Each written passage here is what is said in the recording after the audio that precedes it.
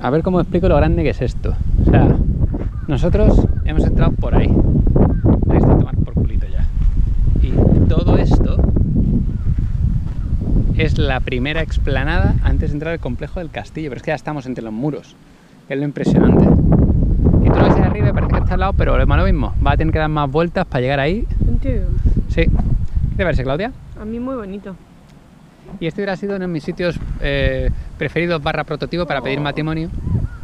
Si Sandra no se hubiera emperrado en. no se hubiera empecinado en decir que. Elena, perdón, eso. Ella no se hubiera empecinado en decir. ¿Y si Ah. Paula no hubiera mandado un mensaje que mandó? También, ¿cierto? Todo, todo en pack, así que nada. Pero está muy guay también. Y no, Está muy guay. mm, un viaje a Japón muy relajado, gracias a ella. Qué malo es. bueno, y tal. Qué bicho. Sí. Así que nada, muy bien. Mira que Castillunil. Y nada, nos vamos a hacer una fotito y seguimos para arriba.